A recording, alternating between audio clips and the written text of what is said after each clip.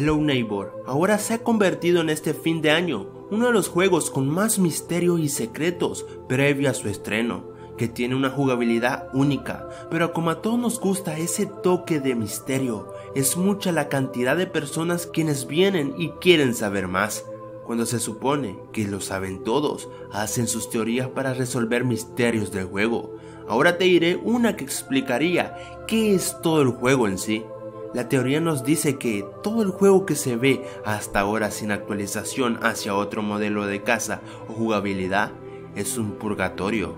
Muchas personas o seguidores del juego no saben de qué va esto, pero aquí te lo explicaré. En el catolicismo, el purgatorio es el espacio simbólico que alberga a las personas que fallecieron con algún pecado y que deben purificarse antes de estar aptos para acceder al paraíso. Se dicen que queda en el purgatorio aquellas almas que arrastran algún pecado leve que aún no ha sido perdonado o algún pecado grave que todavía no tuvo su correspondiente satisfacción a través de la penitencia. Para que no te pierdas, este es un lugar donde van las almas, ya sean malas o buenas cuando mueres. Ahora, veamos las pistas que nos dice eso.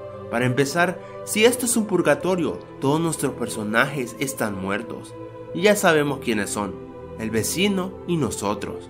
Ya vimos en un video anterior algo que explica esto, acerca de la muerte de estos personajes. Si te la perdiste, te dejo el link en la descripción. Pero esta tiene otra teoría de la muerte de nosotros, pero no del vecino.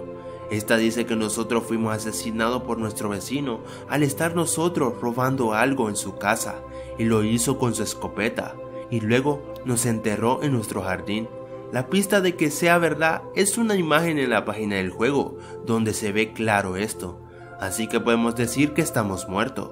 Ahora, este lugar no tiene una ubicación exacta, ya que no está en un espacio físico, sino espiritual. Es algo así como el paraíso, el infierno y el purgatorio. Nadie sabe las ubicaciones de estos lugares, pues en el juego nosotros estamos ubicados en un lugar vacío, sin ciudad, donde hay solo una cosa con que interactuar, la casa del vecino y el vecino, ya que si nos salimos del mapa, veremos casas sin nadie, vacías e incluso algunas flotando. Esto puede potenciar la teoría a ser una realidad. Y también, si nos salimos del mapa, verás que hay solo cielo y un montón de tierra que es donde estamos nosotros ubicados. Ya vieron que tiene forma de purgatorio el juego. Ahora, pero se preguntarán, ¿qué hacen las almas aquí? Se dice que el purgatorio no tiene forma, sino es por nuestros pecados que se da forma. Los que no cometieron tantos van a un lugar como el paraíso. Ahora, para los que cometieron pecados muy graves, se dice que ellos están viviendo ese momento por infinitas veces, es decir, que repite ese acto impuro que hizo en la vida real sin parar, hasta el día del juicio, ¿No te parece algo parecido a esta descripción? Claro que sí, ya que ¿qué es lo único que hacemos en cada ronda? Sí, es ir a la casa del vecino, y si pierdes, siempre vas. Y esto nunca para, ¿verdad que tiene lógica? ¿Y cuál fue nuestro acto por estar en el purgatorio? Morir por robarle algo a nuestro vecino. Y lo que hacemos es casi igual, ¿no lo crees? Ahora, este dato es opcional, ya que muchas personas toman este hecho que te voy a dar a continuación como parte de la teoría. Yo no y le diré por qué.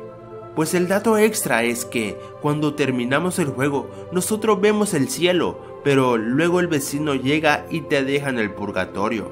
Yo digo que no es parte de esta teoría, porque el purgatorio no tiene salida, solo hasta el juicio final, en donde tu vida la juzgará el Dios Todopoderoso, Jesucristo.